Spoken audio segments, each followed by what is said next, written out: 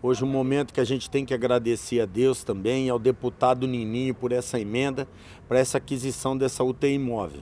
Como vocês vê, da marca Mercedes, né, última geração mesmo de UTI imóvel, e está chegando essa na cidade, com mais um mês estará chegando mais uma.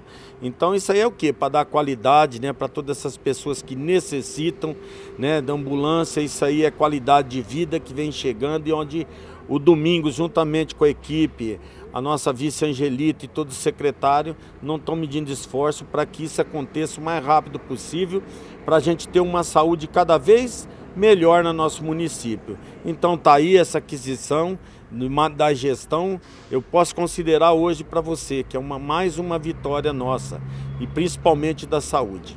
E porque investimento na saúde não pode requer esforços, né, prefeito? Não, jamais, que a saúde não espera, né? A saúde a gente já sabe, quando fala saúde é vida. Então o que, que hoje nós temos que fazer? O nosso PA está aí para ser tudo reformado, a gente pôr aquele tão sonhado centro cirúrgico, né? Nós que os equipamentos tá aí, mas hoje você tem que se adequar tudo diante da vigilância. Então, só para aí a população ter uma noção, essa ambulância já está compra mais de seis meses, quase um ano, pode-se dizer. E a outra ainda que não chegou. É devido que a demora que está de peça, a demora de montagem para chegar na cidade. Mas já era para estar tá aqui já muito tempo atrás. Mas está aí, é tudo existe o tempo, o tempo de Deus e ela chegou.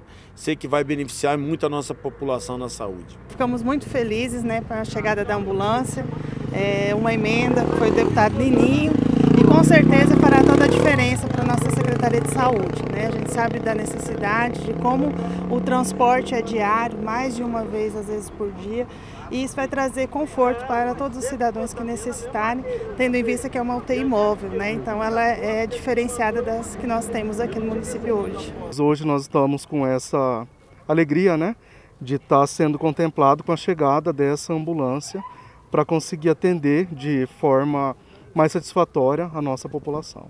E sem dúvida vale lembrar a toda a população que não é a única ambulância que o município vai receber, tem mais outras previstas para chegar. Isso, a previsão é de que dentro de 30 dias uma nova ambulância é, esteja já no nosso município. E os investimentos na área da saúde não para, secretário? Não, nós temos projetos né, de melhoria de infraestrutura para estar tá atendendo de melhor qualidade a todos os usuários. Quero aqui deixar nosso agradecimento ao deputado estadual Nininho, que fez uma emenda parlamentar, né, é, viabilizando assim a compra de uma ambulância. Agradecer também a gestão por ter feito a contrapartida, o nosso diretor do pronto atendimento e todos aqueles que nos ajudaram de forma precisa para que pudesse chegar a este momento, né, da entrega dessa ambulância.